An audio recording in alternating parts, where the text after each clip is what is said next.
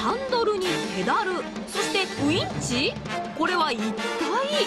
これ世界初の人力フォークリフト。これが坂上さんが自転車作りのノウハウを結集して作り上げたその名もサイクルフォークリフト。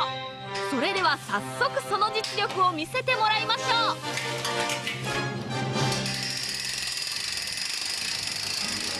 おおこれ何キロですか？これはね70ちょっとかな。お軽々と。これ自転車で運んで。それ前にあげるね。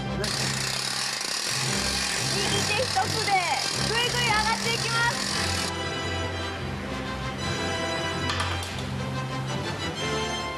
荷物を置く時も非常にスムーズ。立派なフォークリフトですやんこれ。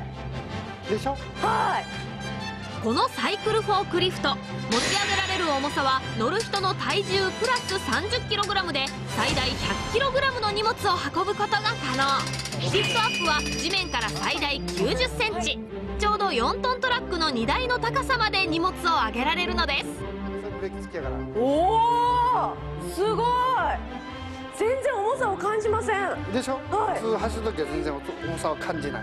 電気もいらないし、はいガソリンもいらないし軽油もいらないしあもうエコエコと今の時代にぴったりのエコです。あこれ実際に